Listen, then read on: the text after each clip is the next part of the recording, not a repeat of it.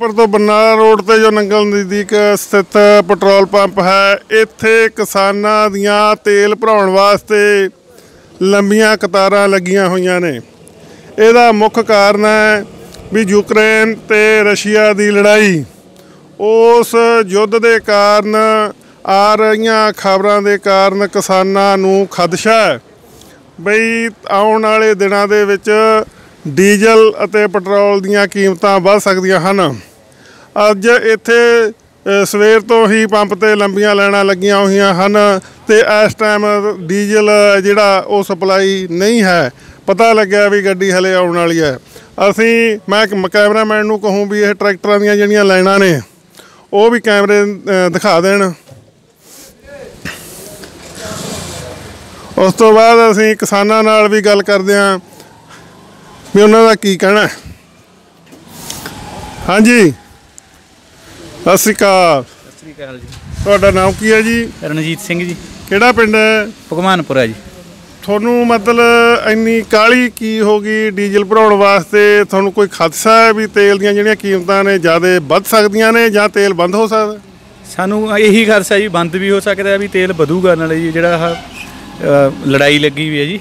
ਹਾਂ ਇਹ ਲੜਾਈ ਕਰਕੇ ਸਾਨੂੰ ਐਂਗਾ ਵੀ ਜੇ ਤੇਲ ਦੀ ਕੋਈ ਪ੍ਰੋਬਲਮ ਆ ਗਈ ਮੂਰੇ ਸੀਜ਼ਨ ਨਾ ਮਿਲਿਆ ਵੀ ਨਾਲੇ ਰੇਟ ਵੱਧ ਗਿਆ ਜੀ ਰੇਟ ਵਧਣ ਦੇ ਚਾਂਸ ਕਹਿੰਦੇ ਨੇ ਵੀ। ਕਿਸਾਨਾਂ ਨੂੰ ਆਪਣੇ ਮੂਰਲਾ ਜਿਹੜਾ ਸੀਜ਼ਨ ਕਣਕ ਦਾ ਸੀਜ਼ਨ ਹੈ ਬਹੁਤ ਸਾਰੇ ਕਿਸਾਨ ਤਾਂ ਮੂਰੇ ਜਿਹੜਾ ਜੀਰੀ ਦਾ ਸੀਜ਼ਨ ਆਉਣਾ ਹੈ ਕੱਦੂ ਕਰਨ ਵੇਲੇ ਉਸ ਵਕਤ ਤੱਕ ਦਾ ਵੀ ਡੀਜ਼ਲ ਹੈ ਜਿਹੜੇ ਕਿਸਾਨ ਨੇ ਉਹ ਜਮ੍ਹਾਂ ਕਰਨ ਲੱਗੇ ਨੇ। ਮੈਂ ਤੁਹਾਨੂੰ ਦਿਖਾ ਦਿੰਨਾ ਵੀ ਉਧਰਲੇ ਪਾਸੇ ਵੀ ਵੀ ਜਿਹੜਾ ਹੈ ਲਾਈਨਾਂ ਲੱਗੀਆਂ ਹੋਈਆਂ ਨੇ, ਸਾਰੀਆਂ ਟਰਾਲੀਆਂ ਦੇ ਵਿੱਚ ਢੋਲ ਕਿਸੇ ਮਗਰ ਟੈਂਕੀਆਂ। ਮੈਂ ਕੈਮਰਾਮੈਨ ਨੂੰ ਕਹੂੰ ਵੀ ਉਧਰ ਵੀ ਸਾਰਾ ਚੈੱਕ ਕਰਾ ਦੇਣ।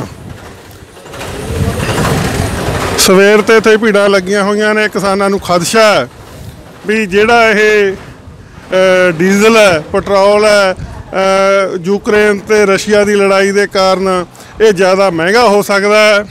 ਉਹ ਮਹਿੰਗਾ ਹੋਣ ਦੇ ਕਾਰਨ ਹੀ ਇੱਥੇ ਲੰਬੀਆਂ ਲਾਈਨਾਂ ਲੱਗੀਆਂ ਹੋਈਆਂ ਨੇ।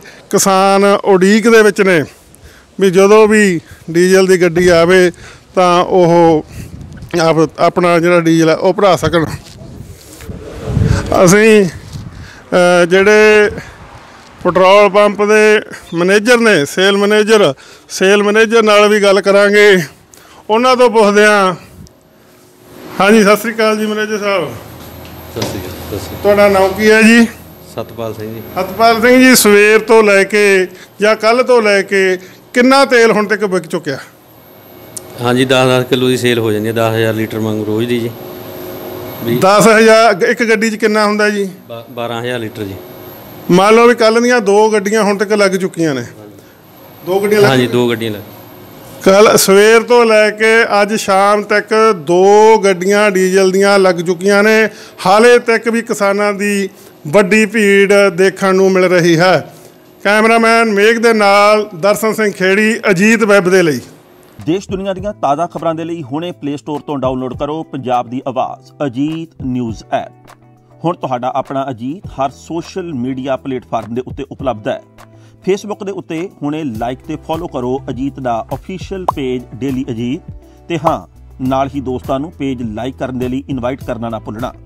ਇੰਨਾ ਹੀ ਨਹੀਂ, ਹਿੰਦੀ ਦੇ ਵਿੱਚ ਖਬਰਾਂ ਵਾਸਤੇ ਲਾਈਕ ਤੇ ਫੋਲੋ ਕਰੋ ਸਾਡਾ ਫੇਸਬੁੱਕ ਪੇਜ ਅਜੀਤ ਸਮਾਚਾਰ ਹਿੰਦੀ YouTube ਦੇ ਉੱਤੇ ਵੀਡੀਓ ਖਬਰਾਂ ਦੇਖਣ ਦੇ ਲਈ ਹੁਣੇ ਸਬਸਕ੍ਰਾਈਬ ਕਰੋ ਅਜੀਤ ਦਾ official YouTube channel Ajit web TV ਤੁਹਾਡਾ ਆਪਣਾ ਅਜੀਤ ਹੁਣ ਟਵਿੱਟਰ ਤੇ ਇੰਸਟਾਗ੍ਰam ਦੇ ਉੱਤੇ ਵੀ ਉਪਲਬਧ ਹੈ। ਟਵਿੱਟਰ ਦੇ ਉੱਤੇ ਖਬਰਾਂ ਦੇ ਲਈ ਫੋਲੋ ਕਰੋ ਡੇਲੀ ਅਜੀਤ ਤੇ ਇੰਸਟਾਗ੍ਰam ਦੇ ਉੱਤੇ ਖਬਰਾਂ ਦੇ ਨਾਲ ਨਾਲ ਵੀਡੀਓ ਦੇਖਣ ਦੇ ਲਈ ਫੋਲੋ ਕਰੋ ਬਲੂ ਟਿਕ ਵਾਲਾ। ਸਾਡਾ ਅਫੀਸ਼ੀਅਲ ਚੈਨਲ ਡੇਲੀ ਅਜੀਤ ਇਹਨਾਂ ਹੀ ਨਹੀਂ ਅਜੀਤ ਦੇ ਵੀਡੀਓ ਹੁਣ ਤੁਸੀਂ ਐਪਲ ਟੀਵੀ ਦੇ ਉੱਤੇ ਵੀ ਵੇਖ ਸਕਦੇ ਹੋ। ਤੇ ਨਾਲ ਹੀ ਅਜੀਤ ਅਖਬਾਰ ਦਾ ਡਿਜੀਟਲ ਐਡੀਸ਼ਨ ਪੜ੍ਹਨ ਦੇ ਲਈ ਡਾਊਨਲੋਡ ਕਰੋ ਅਜੀਤ ਈ-ਪੇਪਰ ਐਪ ਤੁਹਾਡਾ ਆਪਣਾ ਭਰੋਸੇਯੋਗ ਚੈਨਲ ਤੁਹਾਡੀ ਆਪਣੀ ਆਵਾਜ਼। ਪੰਜਾਬ ਦੀ ਆਵਾਜ਼ ਅਜੀਤ